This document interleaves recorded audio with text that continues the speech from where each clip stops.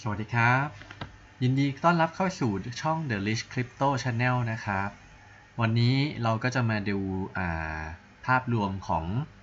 ตัวตลาดนะครับ แล้วก็รวมไปถึงตลาดของคริปโตด้วยนะครับ ก็ก่อนอื่นเลยนะครับ ก็หลายๆ คนตอนนี้ก็กำลังกลัวนะครับ หรือว่ากำลังจับตารอดูผลนะครับของเฟดในวันที่ 16 นะครับ ซึ่ง ก็เหลืออีกประมาณ 3 วันเนาะก็ประมาณวันพฤหัสนะครับ ดึกๆนะครับ ก็จะมีการประกาศว่าเฟดจะทำยังไงต่อนะครับ จะขึ้นอัตราดอกเบี้ยไหมหรือว่ายังไงนะครับ เพียงแต่ว่าเมื่อวานก่อนนะครับก็คืออ่าคืนวันเสาร์ที่ผ่านมาเนี่ยก็มี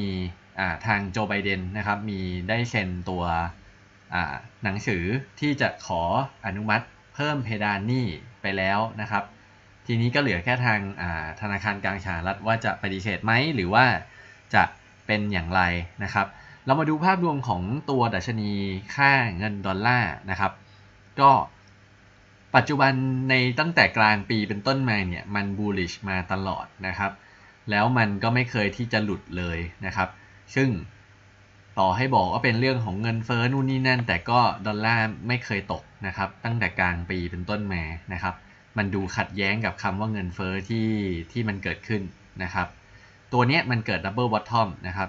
ก็ทำ double bottom แล้วพุ่งขึ้นมานะครับ ถ้าเกิดเราวัดดูนะครับความสูงของ double bottom นะครับจากจุดที่มันควรเบรกขึ้นมาได้นะครับแอบทีนี้พอเราเห็นว่ามันเบรกขึ้นมาได้เนี่ย ก็ความสูงมันก็จะใกล้เคียงกันนะครับ กับตัวความสูงตรงนี้ของ Double Bottom นะครับ ดังนั้นตอนนี้เนี่ยจะสังเกตได้ว่า ตรงนี้อาจจะเป็นจุดพีคสุดของตัวดอลลาร์แล้วก็ได้นะครับในช่วงนี้ ทีนี้เราก็ต้องดูว่ามันจะสามารถเบรกแพทเทิร์นสามเหลี่ยมตรงนี้ออกไปได้หรือเปล่านะครับ ถ้ามันยังสามารถเบรกขึ้นไปได้อีกนะครับ มันก็จะขึ้นต่อนะครับ ตามเป้าตรงนี้เลยนะครับ ถ้าเบรกได้ก็จะขึ้นมาแถวแถว97.5.6แถวแถวนี้นะครับ แต่ถ้าเกิดว่ามันเบรกลงนะครับ ก็จะทำให้ตลาดคริปโตหรือว่า ตลาดหุ้นต่างๆเนี่ยก็จะพุ่งปรับตัวขึ้นไปอีกนะครับ ทีนี้ก็ต้องมาดูภาพรวมของวีคบ้างนะครับ เราจะเห็นได้ว่าตัวกราฟของดอลลาร์เนี่ยนะครับในช่วงปีหลังมาก็คือมันตกแล้วมันก็เด้งกลับขึ้นมาอย่างนี้นะครับ ปีนี้มันทำ double bottom เสร็จมันก็วิ่งขึ้น ซึ่งตรงเนี้ยก็มองว่ามันถึงจุด overbought แล้วนะครับ แต่มันยังไม่ยอมลงนะครับ ถ้ามันจะ peak มันก็มีโอกาสที่จะพุ่งทะลุขึ้นมาก็ได้นะครับ ดังนั้นในตอนนี้เนี่ยก็ลุ้นให้ดอลลาร์มันลงนะครับ ถ้าเกิดว่าเขามีการปรับอัตราดอกเบี้ยขึ้นนะครับดอลลาร์ตรงนี้อาจจะพุ่งขึ้นไปก็ได้นะครับ แต่ถ้าเกิดว่าไม่ได้ปรับนะครับ ก็อาจจะร่วงลงมานะครับ ตรงนี้ก็ต้องดูว่าทางคุณเจโรมเขาจะเอาอยัางไงนะครับ ส่วนในส่วนของราคาทองคำมันก็จะสวนกับทางดอลลาร์อย่างชัดเจนนะครับ เราก็จะเห็นว่าเมื่อกี้ ของอ่าทองคำเนี่ยขึ้นตรงนี้นะครับ แล้วก็ร่วงนะครับ ส่วนถ้าเกิดเป็นอ่าดอลลาร์เนี่ยมันก็อยู่ข้างล่างแล้วมันก็เด้งกลับขึ้นมานะครับ ดังนั้นตรงนี้เนี่ยราคาทองคำยังพยายามเกาะนะครับ ในโซนแนวรับนะครับ อยู่ในโซนนี้ประมาณ 1760 ถึง 1780 อยู่ในกรอบประมาณนี้นะครับ ช่วงนี้ทองคำก็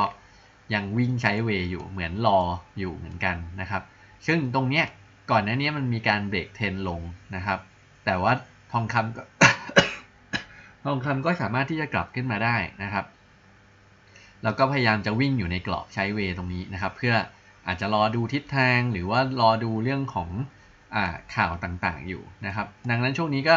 ทองคำยังรักษาระดับเอาไว้อยู่นะครับ แต่ว่าถ้าเกิดข่าวดีออกมาเนี่ยมันอาจจะเบรกแนวต้านขึ้นมาตรงนี้ได้นะครับ แล้วก็มีโอกาสที่จะไปต่อนะครับ ส่วนตัว ภาพรวมของทองคำนะครับจริงๆทองคำก็พอๆกับดอลลาร์นะครับที่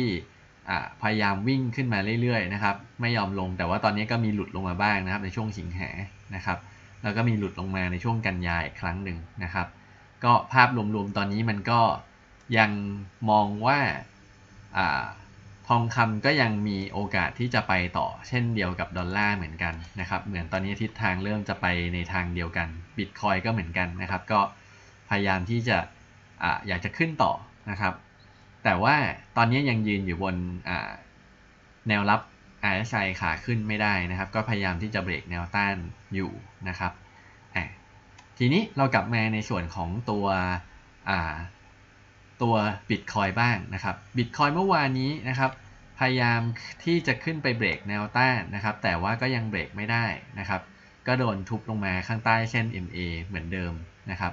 ก็ลงมาอยู่ข้างใต้เส้นใหม่นะครับ เหมือนเขาก็ยังไม่มั่นใจว่ามันจะสามารถที่จะไปต่อได้ไหมนะครับ แต่ว่าในภาพโดยรวมตอนนี้ที่เราเห็นเนี่ย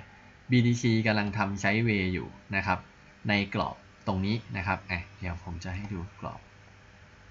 อตรงนี้คือกรอบของ BTC ที่พยายามไซด์เวย์อยู่นะครับ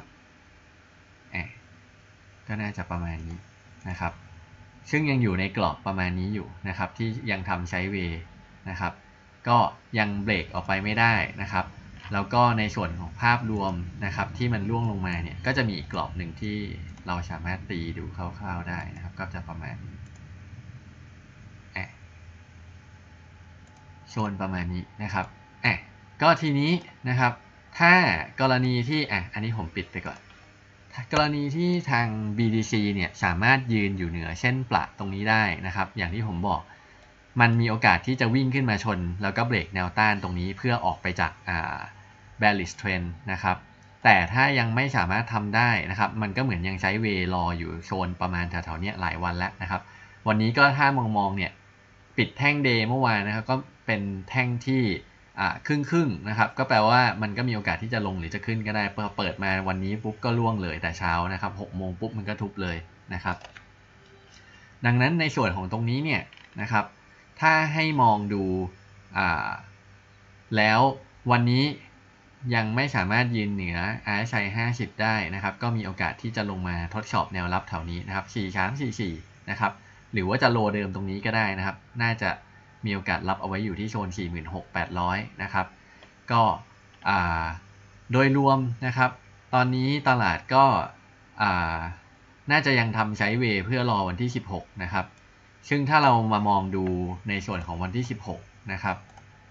วันที่ 16 ก็จะอยู่ประมาณแถวๆนี้นะครับ ช่วงที่ประกาศเฟดก็น่าจะชักประมาณแท่งแถวๆนี้นะครับแอบนี่นะครับ ตัวที่ ตัวที่มันจะทำให้มันขึ้นไปต่อได้ ตรงนี้ผมก็ยังมองอยู่ว่า ยังไม่เห็นปัจจัยเด่นๆนะครับ ในรวมของ RSI นะครับ ก็พยายามที่จะขึ้นต่อนะครับ ตรงนี้เหมือนมีพยายามความพยายามในการขึ้นอยู่นะครับ ถ้าเราสังเกต มันยังไม่หลุดเกาะนะครับ ที่มันพยายามจะขึ้นมานะครับ ถ้าเราดูดีๆเนี่ยมันก็จะไต่ขึ้นมาอยู่นะครับ ในโซนประมาณนี้นะครับ ก็อย่าให้มันหลุดต่ำกว่าเส้นนี้แล้วกันนะครับ ถ้าลงเส้นนี้ก็แปลว่ามีโอกาสลงมาทดสอบแนวรับข้างล่างนะครับ ทีนี้มาดูในส่วนของภาพรวมของตัว MACD บ้างนะครับ ภาพรวมของ MACD นะครับ ในกราฟ 4 ชั่วโมงเนี่ยก็ยังดูมีเขียวๆอยู่บ้างนะครับ แต่ว่าตัวตัวกราฟเนี่ยยังไม่วิ่งตัดขึ้นไปข้างบนนะครับ ดังนั้นยังไม่สามารถที่จะ confirm ได้ว่ามันจะเป็นไปในทางขาขึ้นนะครับ จนกว่าเส้นนี้มันจะวิ่งตัดขึ้นข้างบนนะครับ ถึงจะมองว่าเออตลาดมันเริ่มที่จะกลับตัวกลับขึ้นไปแล้วนะครับ ซึ่งถ้าเกิดเรามองจาก MACD มองจากตัวเส้น MA นะครับ ตอนนี้มันยังอยู่ under เส้น MA 50 อยู่นะครับ นั่นแปลว่ามันยังขึ้นไม่ได้นะครับ แต่เมื่อไหร่ที่มันเบรก 50 เบรก 100 200 ตรงนี้ได้ก็คือ ก็จะขึ้นไปอยู่เหนือเทรนขาลงได้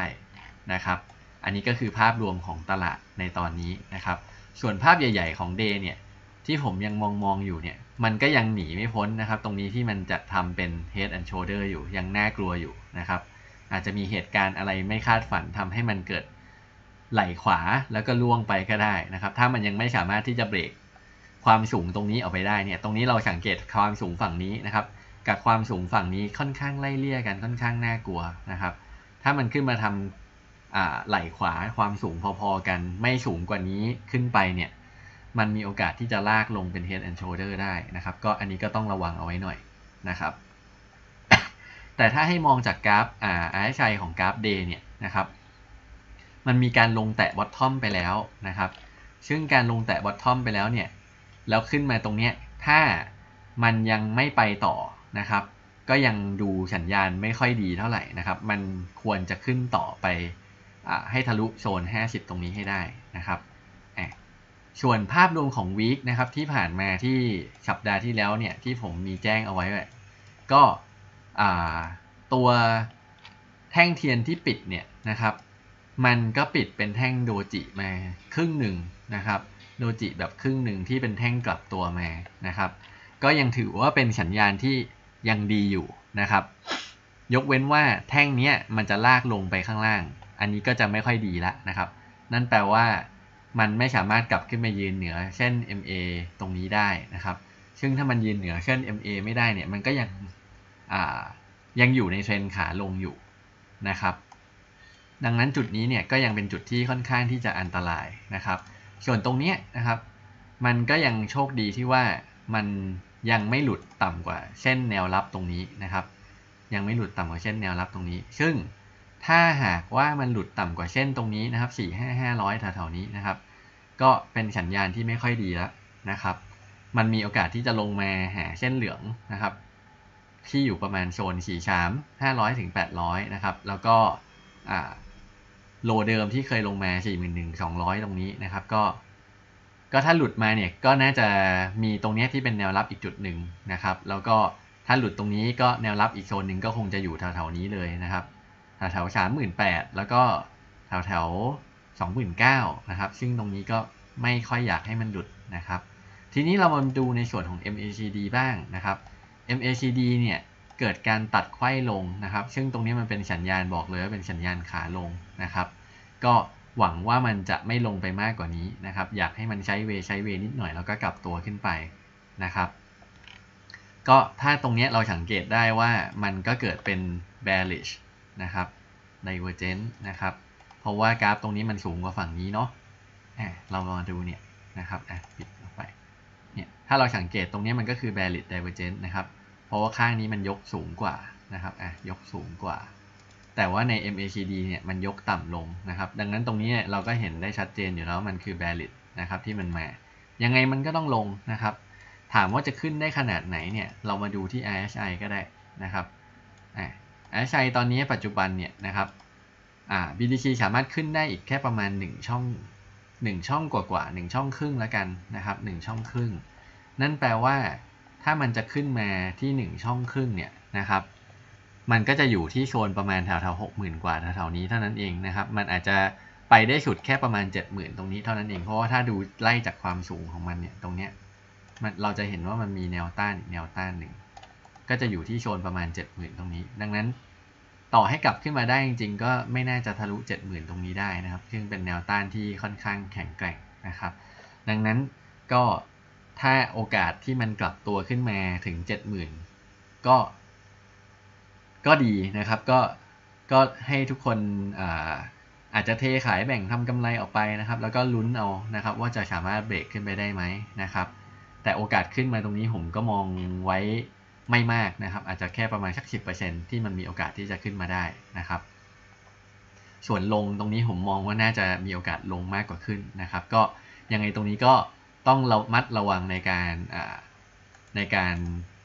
ดูด้วยนะครับว่าถ้าเมื่อไหร่ที่มันหลุดตรงไหนยังไงนะครับ เราอาจจะเพ่นออกไปก็ได้นะครับอะทีนี้มาในส่วนของตัวกราฟรายชั่วโมงบ้างนะครับรายชั่วโมงตอนนี้ก็ยังสังเกตได้ว่าเมื่อวานนี้ที่มันขึ้นมาเนี่ยนะครับ มันยืนเหนือเส้นปะไม่ไหวนะครับ พยายามยืนเหนือเส้น EMA ตรงนี้ก็ไม่ไหวนะก็โดนลากลงมานะครับ เหมือนแบบตลาดอเมริกามองว่าจะขึ้น แต่เอเชียเปิดมานี่ติดดอยแรงเทขายก็โผล่มาเพียบเลยนะครับ ดังนั้นก็มันก็ยังคงไม่ไปไหนนะครับ แล้วก็ถ้าให้มองภาพรวมตอนนี้นะครับ มันก็เหมือนยังพยายามที่จะวิ่งใช้เวอยู่นะครับ ตรงนี้นะครับ ก็ต้องหาทางเบรกกรอบตรงนี้ขึ้นไปให้ได้นะครับ ก็อาจจะพยายามวิ่งใช้เวทอยู่ตรงนี้ แต่ถ้าหลุดตรงนี้ก็อาจจะลงมาที่ประมาณโลเดิมตรงนี้นะครับแถวๆสี่หมื่นหกนะครับ หรือถ้าหลุดลงไปมากกว่านั้นก็จะมาแถวๆเช่นสี่หมื่นห้าตรงนี้นะครับ ก็อันนี้ก็ลองดูไว้เป็นแนวทางแล้วกันนะครับ เผื่อใครจะเล่นสั้น ช่วงนี้ช่วงนี้ก็แนะนำว่าจริงๆเล่นสั้นถือว่าน่าจะปลอดภัยที่สุดนะครับ แบบดูว่ามันเริ่มแตะ bottom นะครับ oversold นะครับ ดูว่าเริ่มมีเปิดแท่งเขียวถ้ามีก็เปิดไปนิดนึงกำไรนิดหน่อยก็รีบออกอะไรอย่างนี้ก็น่าจะปลอดภัยนะครับ แต่ก็ต้องเลือกเหรียญด้วยนิดนึงนะครับ ว่าเหรียญไหนที่มันหมดรอบไปแล้วมันก็จะลงต่อนะครับอะซึ่งแท่งนี้ไม่สวยเลยนะครับ อย่างเงี้ยมีโอกาสที่จะดันทะลุแนวต้านลงไปได้นะครับ ก็วันนี้ยังมองว่าเป็นตลาดหมีนะครับ จนกว่ามันจะไปยืนเหนือตรงเนี้ยนะครับเช่นปะเนี่ยนะครับ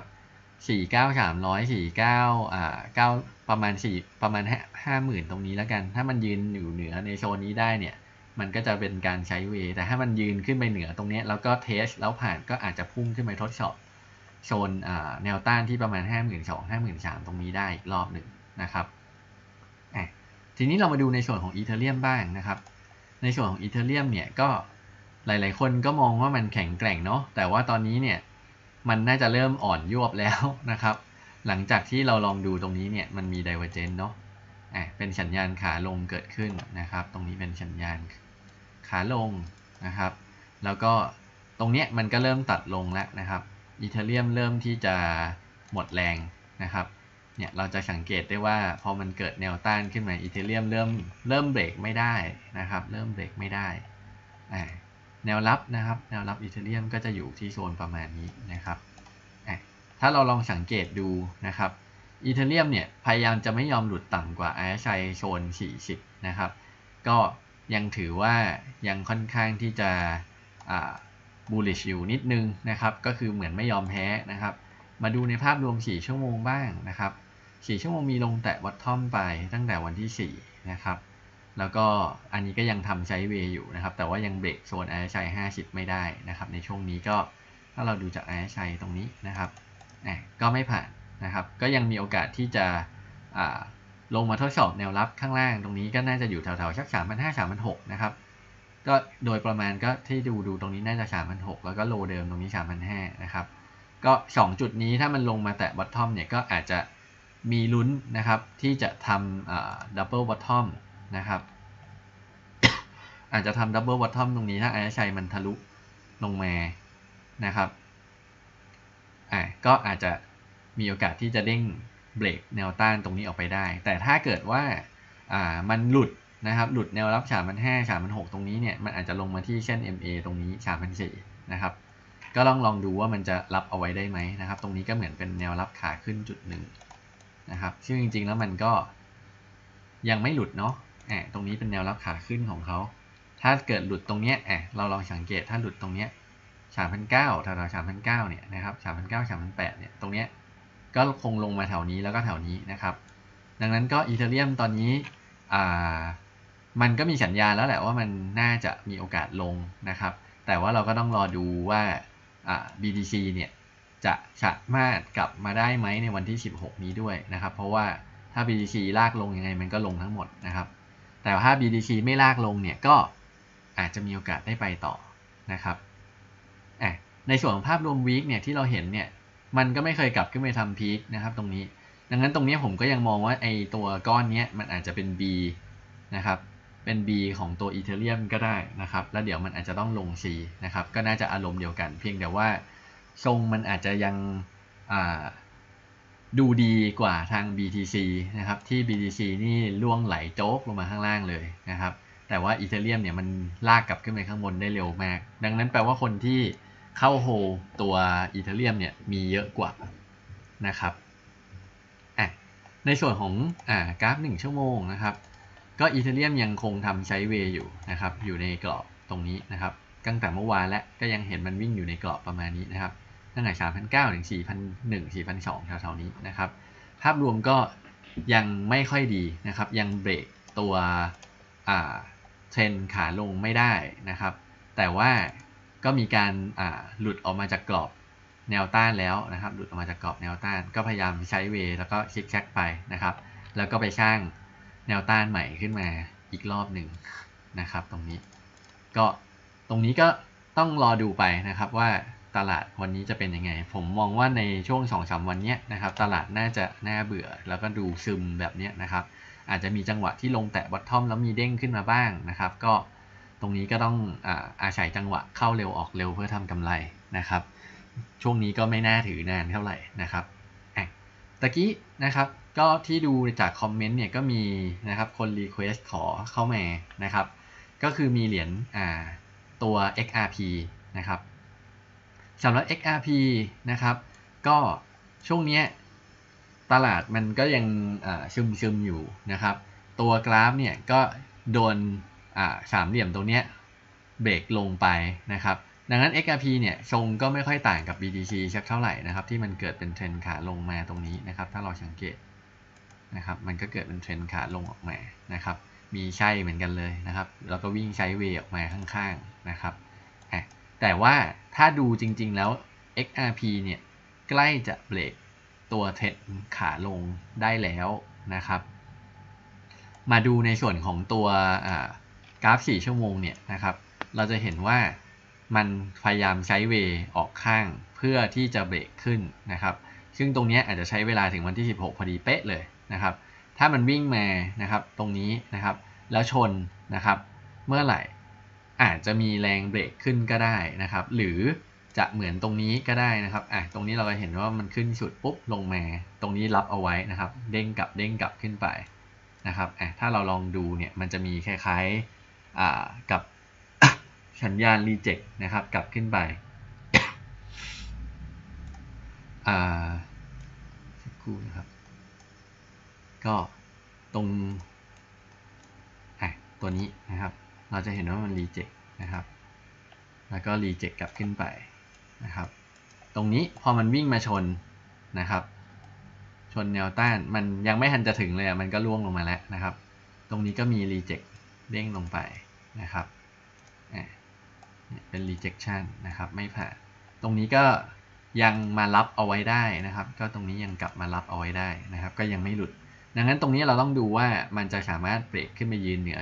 0.85 ได้ไหมนะครับ ถ้ามันยืนเหนือ 0.85 ได้ไม่โดนรีเจ็คตรงนี้นะครับ ก็มีโอกาสที่ XRP จะวิ่งกลับขึ้นไปนะครับ ส่วนเรื่องของข่าวนะครับ ที่มันมีข่าวกรตก็อันนี้ก็ต้องลุ้นกันไปนะครับ เพราะว่าเขาไปงัดกับกรตซึ่งมันก็มันก็คงจะจบยากหน่อยนะครับ ถ้าเป็นบ้านเราก็จ่ายเงิน ไปให้ทนายไปสู้คดีนู่นนี่นั่นมันอาจจะมีการเจรจาต่อรองอะไรกันไป แล้วอาจจะจบได้ง่ายกว่าต่างประเทศก็ได้นะครับ ก็อันนี้ก็ไม่แน่ใจเหมือนกัน หรือว่ามันอาจจะเป็นแผนการสกัดดาวรุ่งของกลุ่มแบงค์นะครับ ที่ไม่อยากให้อ่าระบบของคริปโตเคอเรนซีเกิดในเร็วนี้ก็ได้เหมือนกันนะครับอ่าดังนั้นในส่วนของ XRP นะครับ ก็ จริงๆ ผมก็มองว่ามันก็ค่อนข้างดีนะ ถ้าเกิดว่าเหรียญมันไม่ปั๊มได้นะครับ มันก็มันก็น่าจะไปได้ไกลกว่านี้นะครับ แล้วก็บวกกับเจ้าของเดิมที่เคยอยู่นะครับคุณเจสนะครับ ก็เวลาที่ XRP ขึ้นเนี่ยเขาก็จะมีเหรียญ XRP ที่เขาเคยถือเอาไว้เนี่ยเขาก็จะออกมาเทแบ่งขายไปเรื่อยๆเรื่อยๆเรื่อยๆนะครับ มันก็เลยเป็นเหรียญที่อาจจะยัง ไม่ค่อยดีเท่าไหร่ ถ้าเจสเขายังมีเหรียญอยู่นะครับเพราะว่าพอเขาออกมาทำ XLM เองเนี่ยเขาก็เอาเงินจาก XRP นี่แหละมา มาสนับสนุนในการทำ XLM นะครับ ก็เป็นคู่แข่งกับ XRP แต่ว่ามันก็เหมือนเป็นเหรียญแม่กับเหรียญลูก เพราะว่าใช้เทคโนโลยีคล้ายๆกันนะครับ ทีนี้นะครับภาพรวม 15 ทีนะครับ 15 ทีก็เพิ่งจะแตะวัตทอมไปนะ พอแตะปุ๊บมันก็มีแรงเด้งกลับขึ้นมา แต่ว่าก็ยัง มองแล้วก็เหมือนยังเบรกแนวต้านไม่ค่อยได้นะครับ ช่วงนี้ ก็วันก่อนก็มีข่าวว่ามีวานเข้าถือนะครับ เข้ามาถือ XRP สะสมเอาไว้นะครับ เขาคงหวังกับแบบว่าอ่าถ้าชนะคดีนะครับ ก็อาจจะมีการบินขึ้นไปก็ได้นะครับ อันนี้สังเกตนะครับ มันยืนอยู่บนเหนือเช่นปละนะครับ ที่เป็นเทรนขาลงได้แล้วนะครับ มันก็พยายามที่จะขึ้นไปเบรก แล้วก็ไม่ยอมลงนะครับ ลงแตะเช่นปะเสร็จก็เด้งกลับขึ้นมา แล้วก็พยายามจะขึ้นไปเบรกใหม่นะครับ ก็ต้องรอดูความพยายามนี้จะสำเร็จไหมนะครับ ก็อาจจะใช้เวลาภายในวันที่ 13 14 15แถวๆนี้นะครับ ถ้ามันยังไม่หลุดตรงแนวรับตรงนี้นะครับ มันยังมีโอกาสที่จะขึ้นไปต่อได้นะครับ ก็มาลุ้นไปนะครับว่า XRP จะสามารถที่จะไปถึงฝันได้ไหมนะครับอะอันนี้ก็เกิดเป็นสามเหลี่ยมใหม่ขึ้นมาอีกหนึ่งอันนะครับ ก็ถ้าเบรกตรงนี้ได้เนี่ย ก็มีโอกาสที่จะพุ่งขึ้นไปเลยนะครับ ราะว่ามันก็สะสมพลังมาค่อนข้างเยอะแล้วนะครับ ภาพรวมใหญ่ๆ ของตัว XRP นะครับ ตัว XRP เนี่ย ถ้าเราสังเกตทุกครั้งที่มันพุ่งขึ้นไปมันก็จะโดนเท พุ่งขึ้นไปก็โดนเทนะครับ ก็เป็นเรื่องปกติของคนที่ติดดอยมานานนะครับ ว่าเอ้ยเขียวแล้วฉันได้ออกแล้วก็จะรีบเทขายกันสังเกตเนี่ยขึ้นนะครับขึ้นขึ้นแล้วก็ลงเลย กลับมาที่เดิมนะครับ ตรงนี้ก็จะคล้ายๆกันนะครับ ก็ขึ้นเสร็จก็ลง นะครับ แล้วก็ในส่วนของอราคา เหรียญนี้ส่วนใหญ่ก็จะมีการปั่นขึ้นไปนะครับ แล้วก็ทุบลงมาที่เดิมนะครับ ดังนั้นถ้าไม่มอนิเตอร์นะครับ ก็อาจจะขายไม่ทันเขานะครับ เหรียญนี้ก็ต้องระวังไว้หน่อยนะครับ ต่อมาสำหรับ C98 นะครับ C98 ก็เป็นเหรียญสำหรับ wallet นะครับ ก็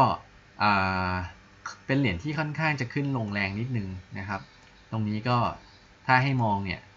ลงมาอย่างเดียวเลยนะครับ ตั้งแต่ช่วงพฤศจิกานะครับ ลงลงลงลงมาเรื่อยๆ แล้วก็ลงต่อนะครับ ยังไม่มีสัญญาณใด ๆ ยกเว้นตรงนี้ที่เห็นนะครับอะถ้าเรามาลองดูสัญญาณตรงนี้อาจจะมี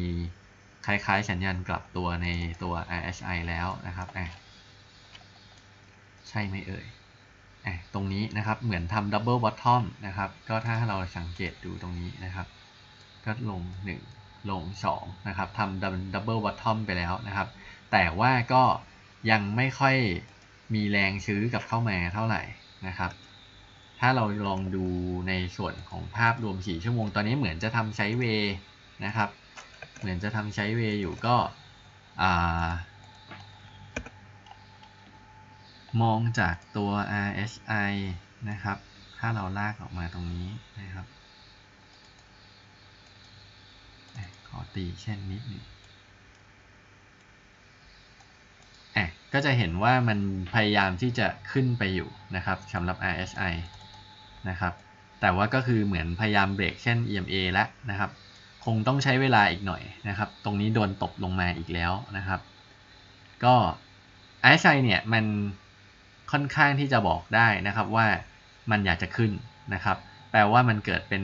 สัญญาณกลับตัวแล้วแหละนะครับ เพียงแต่ว่าตอนนี้มันยังโดนกดหัวอยู่นะครับ อาจจะเป็นไปได้ว่า BTC ตอนนี้กำลังกดอยู่นะครับเนี่ยก็ยังกดแดงลงมาอยู่นะครับ ก็เลยยังยังไม่สามารถกลับขึ้นไปได้นะครับ แต่คิดว่าอะถ้าเรามาลองดูทรงกราฟเนี่ยมันก็เป็นทรงไซด์เวย์ที่ค่อนข้างจะชัดเจนเลยนะครับ ก็อ่าลองตีตรงนี้ต้านก่อนนะครับ อันนี้แนวรับนะครับ ก็ค่อยๆ แคบบีบแคบลงนะครับ อันนี้ถ้าเราสังเกตมันจะค่อยๆ บีบแคบลงเรื่อยๆนะครับ แล้วก็ถ้าเกิดเรามาลองตีเป็นตรงนี้นะครับ เราก็จะเห็นว่ามันก็เหมือนจะอยู่ในกรอบสามเหลี่ยมแล้วนะครับ กรอบสามเหลี่ยมที่ต้องรอเบรกดูนะครับ ตรงนี้อาจจะหลุดไปหน่อยนะครับ ก็เลยล่วงลงมานะครับ ก็มองๆแล้วภาพรวมยังเป็นการใช้เวอยู่ในกรอบนะครับ ก็โลมันน่าจะอยู่แถวๆสองตรงนี้แหละนะครับสองถึงสองจุดสี่นะครับที่เป็นแนวต้านของมันนะครับแล้วก็ตรงนี้มีอีกหนึ่งแนวรับเนาะหนึ่งแนวรับตรงนี้นะครับ เราก็จะเห็นว่าภาพรวมตอนนี้มันมันยังเป็นการ sideway ออกข้างๆ เหมือนรอสัญญาณตลาดนะครับกราฟ day นะครับ แตะทะลุ bottom ไปแล้วนะครับกราฟ week นะครับ ตอนนี้ไอซ์ไซเนี่ย เท่าที่เห็นเนี่ย ยังเหลืออีก 2 ช่องใหญ่นะครับ ตรงนี้ก็ถ้าลงสุดจริงมันก็คือศูนย์เนี่ยแต่ว่าผมว่ามันไม่น่าจะหลุดน่าเกลียดขนาดนั้นเนาะมันเหมือนมันไม่อยากหลุดลงไปแล้วอะลองสังเกตดูตรงเนี้ยมันวิ่งเรียบเลยนะครับแปลว่าราคามาตรฐานมันมันไม่คงไม่อยากให้หลุดต่ำกว่า 2 นะครับ แล้วก็ถ้ามองจากเดย์เนี่ยปกติเวลาเหรียญลงแตะเดย์เนี่ยมักจะต้องมีแรงเด้งกลับขึ้นมาบ้างนะครับ อันนี้ก็ มองว่าเดี๋ยวอีกสักพักเนี่ยอาจจะลงมาทดสอบโลเดิมแล้วอาจจะเด้งกลับขึ้นมาก็ได้นะครับ ก็พวกเหรียญ wallet นะครับผมก็ยังอมองว่าจริงๆ แล้วราคาเลนจ์ของมันเนี่ยก็คือควรจะอยู่ที่ประมาณ 2-4 ดอลนะครับ โดยประมาณ เพราะว่ามันก็ไม่ได้เขาเรียกว่าอะไรดี มันเป็นเหรียญที่ควรจะเกิดมาเพื่อทำกำไรระยะสั้น นะครับ ไม่ควรจะแพงมากเกินไป หรือว่าก็ไม่ควรที่จะราคาต่ำจนเกินไปนะครับ บวกกับ C98 แพลตฟอร์มพื้นฐานเขาค่อนข้างที่จะโดดเด่นนะครับ แล้วก็ทีมทำ marketing ค่อนข้างเก่งนะครับ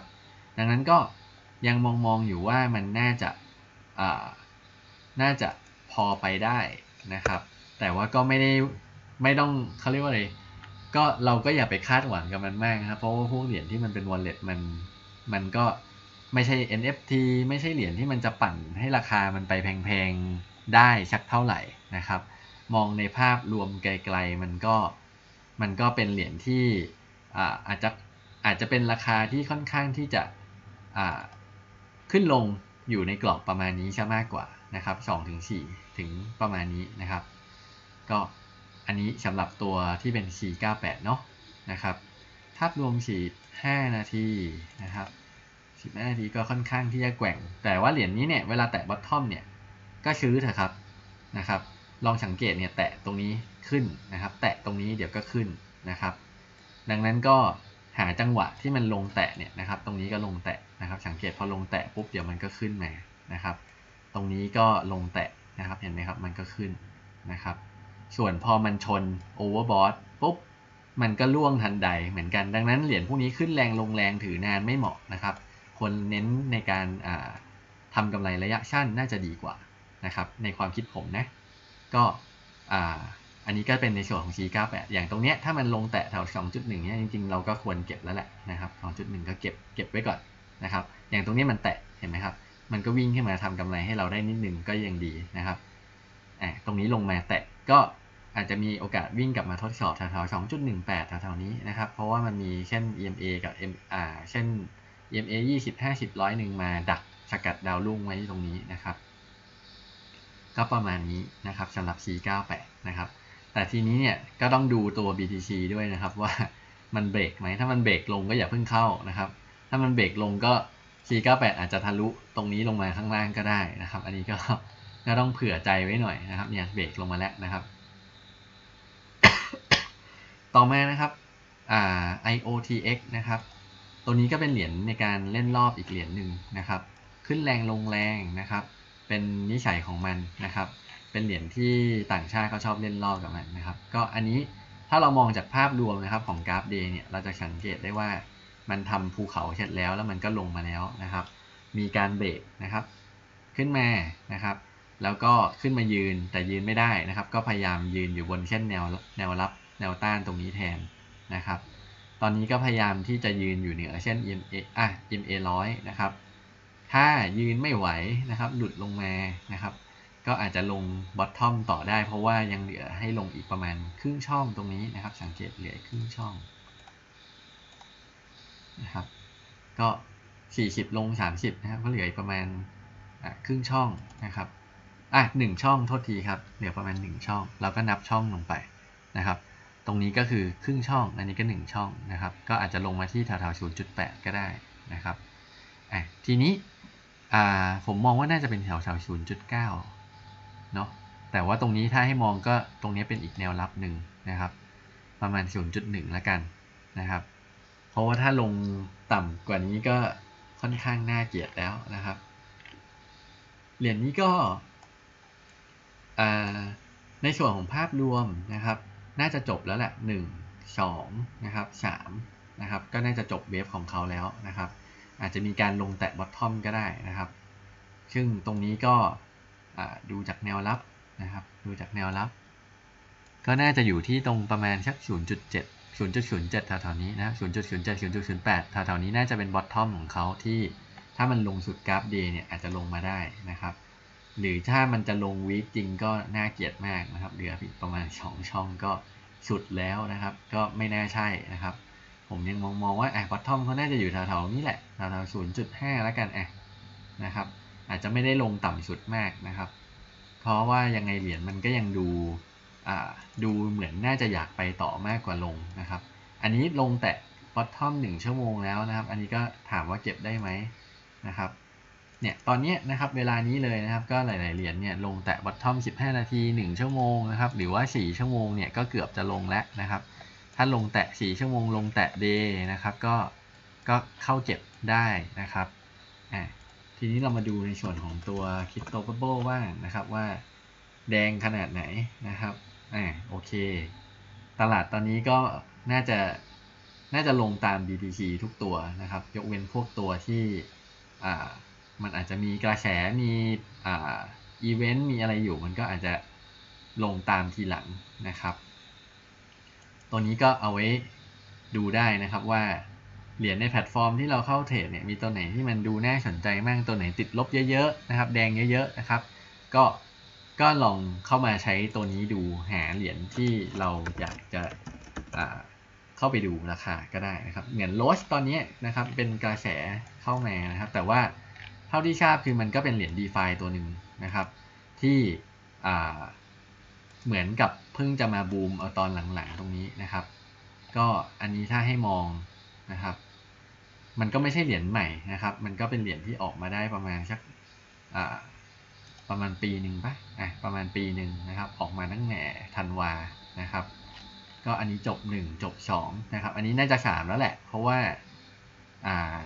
ตัวเนี้ยไอชัยมันขึ้นพีคไปแล้วนะครับ ขึ้นพีคไปแล้ว แล้วก็อันนี้มีไดเวอร์เจนสลับกันนะครับ สลับกัน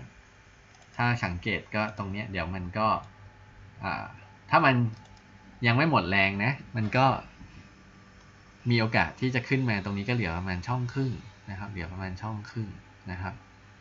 ช่องครึ่งก็นับไปก็ประมาณนี้ อาจจะเท่าไฮเดิมก็ได้นะครับ หรืออาจจะอาอาจจะขึ้นมา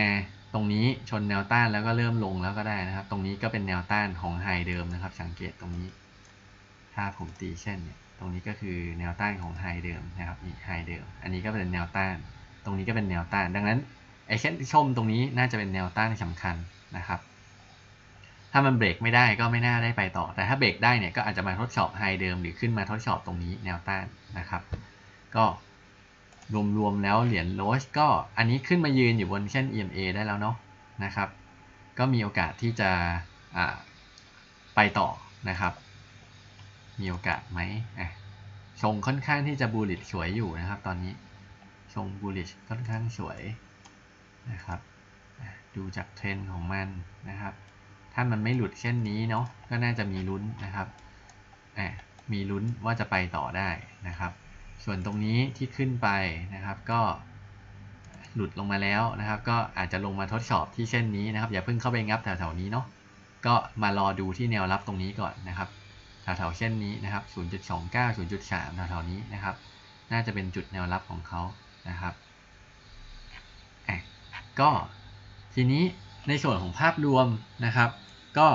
BTC เนี่ยวันนี้ก็พยายามที่จะ ใช้เวเนาะรอตลาดนะครับ แล้วก็อาจจะมีการขึ้นขึ้นลงลงอยู่อย่างเงี้ย ก็ตลาดคงยังน่าเบื่อไปอีกสักสองสาวันจนกว่าวันที่ 16 เนี้ยผลมันจะออกยังไงนะครับ ถ้าผลออกมาดีนะครับ ก็ใครที่เก็บของไว้ด้านล่างแถวๆนี้นะครับ หรือโซนแถวๆนี้เนี่ยก็ ก็ถือว่าโชคดีนะครับ ส่วนถ้าเราจะเอา play safe นะครับ เอา play safe ไว้ก่อนเนาะ ให้มันเบรกไอเส้น